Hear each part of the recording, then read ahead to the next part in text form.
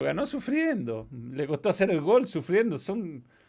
O sea, tenemos caracteres limitados. Sufriendo y le costó hacer el gol. O sea, el que hizo el gol lloró. Qué. Sí, el gol que hizo un gol lloró. El que hizo el gol lloró, además.